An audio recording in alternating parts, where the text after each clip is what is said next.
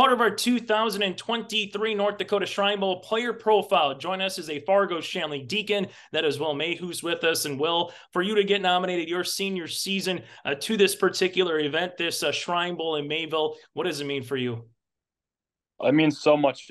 Uh, being nominated for the Shrine Bowl was one of my goals going into the season, and it just means a lot that I get to go out there and play another week of football with a few of my teammates and a few of my rivals. That'll be a lot of fun take us through uh, this season. Obviously what you would want as a senior you know to go off in style and winning a state football championship. What was this senior season like for you from start to you know finishing it off at the Fargodome with a title?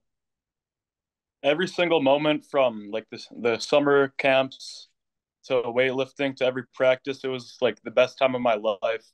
It was just so much fun being out there with my teammates and it was so much fun achieving our goals to have four players total, you and three teammates get nominated when the rosters came out. What does it say where Fargo Shanley football is right now here in, you know, double A football, the highest class in, in North Dakota?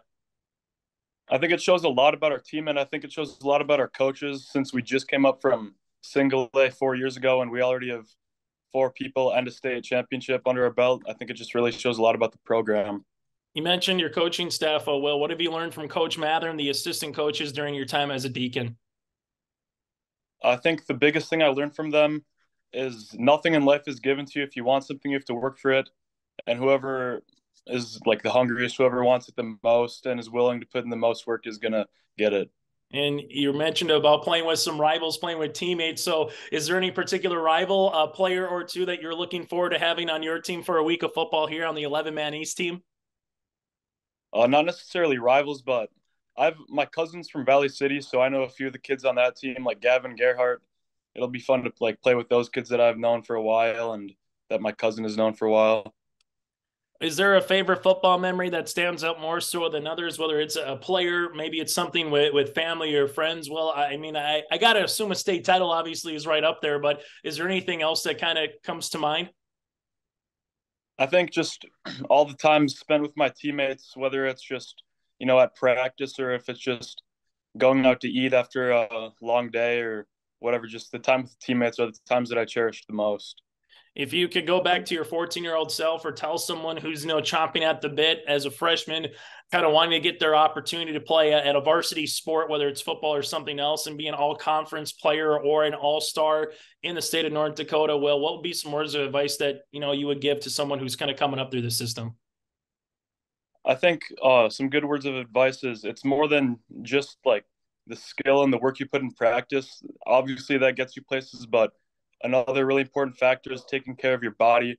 You need to be making sure you're eating healthy, sleeping right, weightlifting a lot, you know, stretching, all of that. Final thing for you. Well, uh, superstitious. Were you superstitious at all? Did you have to put the left shoe on, so to speak, before the right shoe? Uh, did your team have to do anything before kickoff? Uh, take us through the curtain a little bit. Oh yeah, I was pretty superstitious. Uh, every night before the games, I would have to wash my pads. I would drink a certain, like a few certain types of Gatorades every night before. Watch Thursday night football game, stretch out while I was watching it, and then get nine hours of sleep. Then on game day, I would go to Chipotle every day before the game with my quarterback. So you went to Chipotle. Let's uh, do this on the, the follow up here. What was the? Did you have the same like burrito or same type of a, a certain a meal, or did you switch it up a little bit?